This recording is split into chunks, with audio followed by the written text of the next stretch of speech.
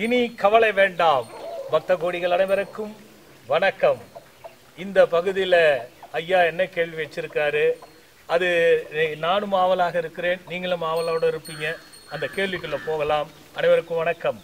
இனி கவலை வேண்டாம் நிகழ்ச்சியின் அன்பார்ந்த அடியார்களே உங்கள் அனைவருக்கும் எனது மனமார்ந்த வணக்கம். இப்பொழுது நான் எடுத்துக்கொண்டிருக்கிற கேள்வி பெயரை பற்றியது. ஏனென்றால் இப்பொழுது பல பேருக்கு இருபது வயசு முப்பது வயசு ஆன பிறகு அவர்கள் பேரில் குறை இருப்பதாக சொல்லி பேர்களை மாற்ற வேண்டிய ஒரு அவசியம் ஏற்படுகிறது. அது இப்போவே நம்ம குழந்தை பருவத்திலே நல்ல பெயராக பார்த்து வச்சுட்டா எதிர்காலத்தில் உங்களுக்கு இந்த சிக்கல் இருக்காது. வளர்கிற பருவத்திலே நல்ல முறையில் வளரும். அதனால் சாமி பெயர் தான் பொதுவாக எல்லாரும் வைக்கிறாங்க. அப்படி சாமி பெயர் குழந்தைகளை வைக்கலாமா? அதனால் ஏதாவது பிரச்சனை ஏற்படுமா? அப்படி ஏற்படும்னா அதுக்கு என்ன வழிகளை செய்து பரிகாரம் செய்து இந்த சாமி பேர் வைக்கலாம். இல்லை சாமி பேர் வைக்காதே விடலாமா? எப்படி இதை பற்றி ஒரு தீர்க்கமான ஒரு முடிவு சொன்னீங்கன்னா குழந்தைகளை பெற்றுக்கிறவங்களுக்கு இப்போதைக்கு ஒரு நல்ல பெயராக பின்னாடி இது மாற்றம் இல்லாத வர்றதுக்கு ஒரு வழி இருக்கும். சுவாமிகளை அதுக்கு ஒரு நல்ல இப்போ ஒரு வழிகாட்டுதல் சொன்னால் நல்லாயிருக்கும் சாமிகளே இதை சொல்வார்னு இருக்கும் இல்லை அருமையான கேள்வி. ஏன்னா எனக்கு நிறைய பேருக்கு இந்த பெயர் வந்து ஒரு விஷயமாக இருக்குது. என் கணிதம் அப்புறம் இந்த பெயர் நன்றாக இருக்கிறதா இல்லையா? இந்த பெயர் நல்லாக இருக்கிறதுக்கு என்ன பண்ணணும்?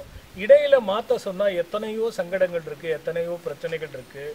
இந்த பெயரில் உள்ள ரகசியம் என்ன? இந்த பெயருக்கும் மனிதனுடைய வாழ்க்கைக்கும் சம்பந்தம் இருக்கிறதா? இந்த மனிதனுடைய வாழ்க்கைக்கு எந்த அளவுக்கு பெயர்கள் அது அதுக்கு உறுதுணையாக இருக்கிறது?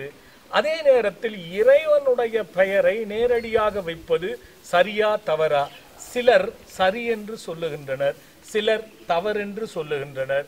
எதை எடுத்துக்கொள்வது என்பதே புரியாத ஒரு புதிராக இன்ன வரைக்கும் நிறைய பேருக்கு இருக்கிறது. ஒரு விஷயம் ஆதி காலத்தில் ஒரு சிலர் எல்லாமே என்ன பண்ணுவாங்க?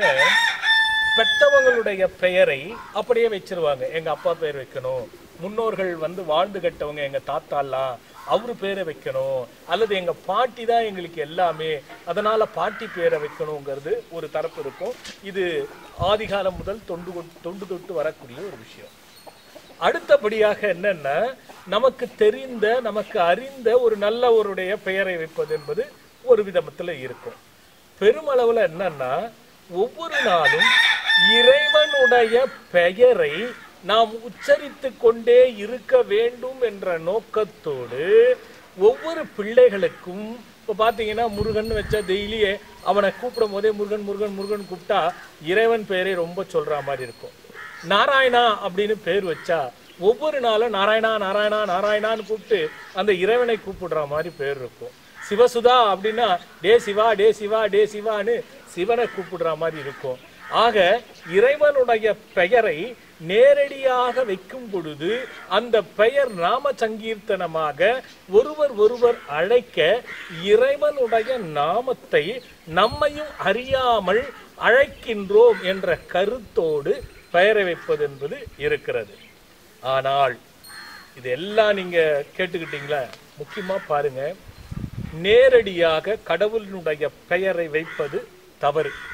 ஏன் தவறுன்னு நான் சொல்கிறேன் நல்லா புரிஞ்சுக்கோங்க. பெத்தவங்க பிள்ளைய டேன்னு கூப்பிடலாம் எப்படி வேணாலும் கூப்பிடலாம். ஒரு பொண்ணுக்கு நல்லா புரிஞ்சுக்கோங்க லட்சுமின்னு பேர் வச்சுருப்பாங்க. அப்போ என்ன பண்ணும் அந்த குழந்தை ஸ்கூலுக்கு போகாது பள்ளிக்கு போகாது. இது இது- இது இந்த லட்சுமி பொண்ணு இருக்குது பற்றியா ஐயோ அப்படின்னு சொல்லி தன்னையே அறியாமல் ஏதோ ஒரு திட்டு திட்டுவாங்க. அது வளரும் காலத்தில் பிள்ளைங்க எல்லாம் ஒன்றா நட்புல பேசிக்கும் போதே வாடி லட்சுமி வான்னு ஏதாவது ஒரு தகாத வார்த்தைகளில் பேசுவாங்க. அதே போல் முருகன்னு பேர் வச்சுட்டிங்கன்னா அந்த முருகன் அந்த வா மச்சான் முருகன் நல்லா இருக்கேடா வாய் வாடா சினிமாவுக்கு போகலான்னு முருகனை கூப்பிடுவாங்க. ஆதி காலத்தில் பக்தி பேரோடு தழுவி இருக்கும்போது பக்தி இருந்தது. இப்பெல்லாம் பக்தி அந்த அளவுக்கு பெருமளவில் குறைஞ்சு கிடக்கு. ஆனால் ஆதி காலத்தில் சொல்லியிருந்தாலும் கூட அது தவறு தவறு தான் ஒன்று மட்டும் இந்த நல்ல வகையில் பதித்து வச்சுக்கோங்க. பஞ்சபூத சக்திகளில் சித்தருடைய வழியில் நிலைநாமம் கொள்வானாயின் உலக சுழற்சியில் இறைநாமம் இல்லாமல் பெயர் ஏது இது வந்து சித்தருடைய பாடல். என்ன சொல்கிறாங்கன்னா எந்த ஒரு உயிர் இருக்கக்கூடிய பொருளுக்கும் பெயர் இருக்கும். அந்த பெயர் அனைத்துமே உயிர்னு எதுக்கு இருக்கோ அதுக்கு பெயர் இருக்குமா? அந்த பெயர் அனைத்துமே இறைவனால் அங்கீகரிக்கப்பட்ட பெயர்தான். இறைவனுடைய நாமத்தை தழுவாமல் எதுவும் இருக்கவே இருக்காதா? ஏன்னா இப்ப முருகன் வச்சுக்கோங்க முருகனுக்கு புனைப்பெயர் இருக்கும். தணிகாச்சலன். இது புனைப்பெயர். நேரடியாக சுப்பிரமணியர் அதுக்கப்புறம் சுப்பிரமணியன் அப்படின்னு முருகன் என்பது நேரடியான பெயர். அதே நேரத்தில் தனிகாச்சலன்னா அவங்க நல்லா இருப்பாங்க.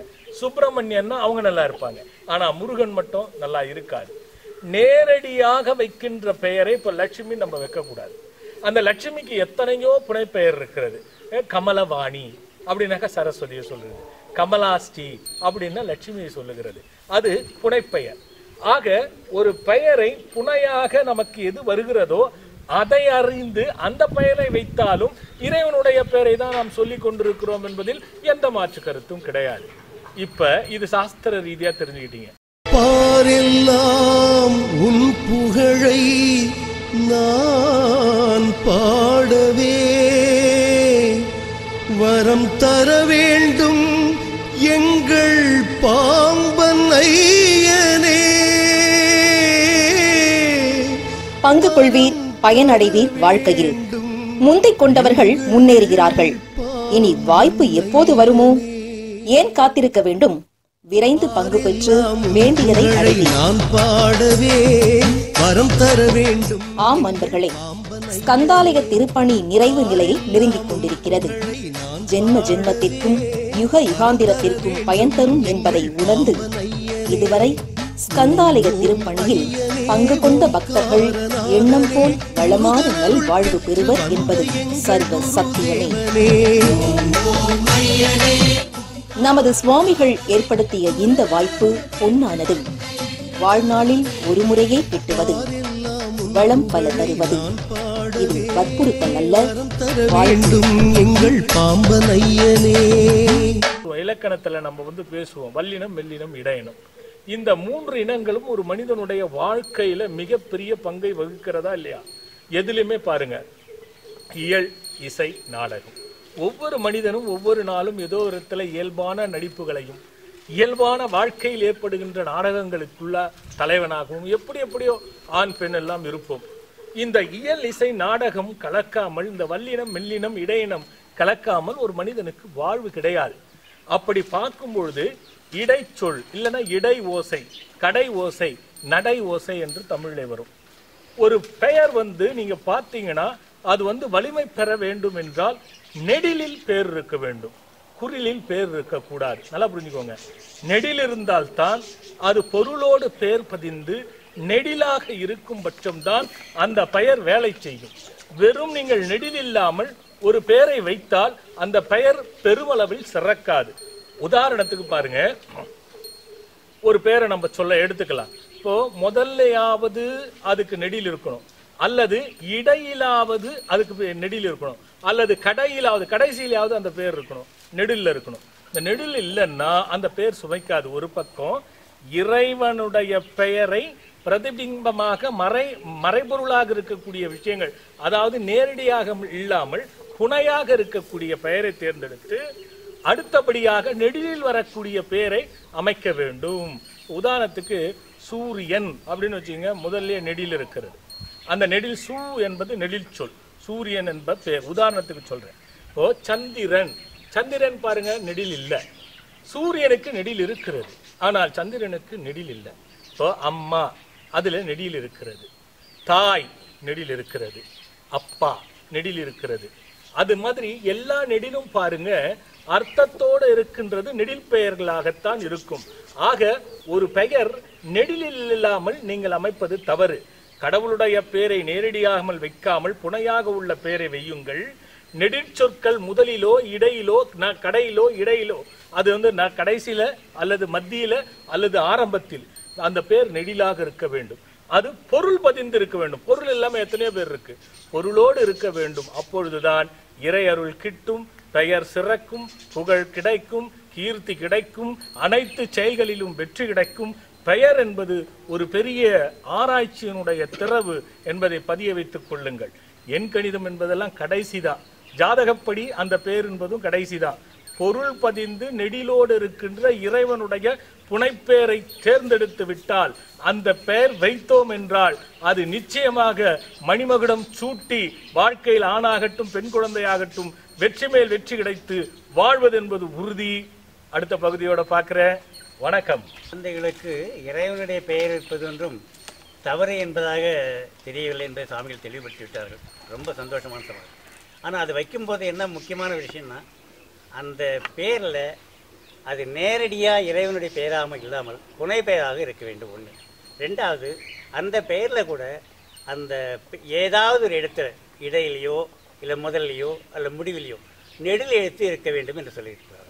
இந்த ரெண்டு கருத்தை மனதில் கொண்டு இறைவனுடைய பெயரை வைப்பது அந்த குழந்தையினுடைய எதிர்காலத்திற்கு மிகவும் உசிதமாக இருக்கும். சிறப்பாக இருக்கும் என்று சுவாமிகள் தெளிவுபடுத்தியிருக்கின்றார்கள்.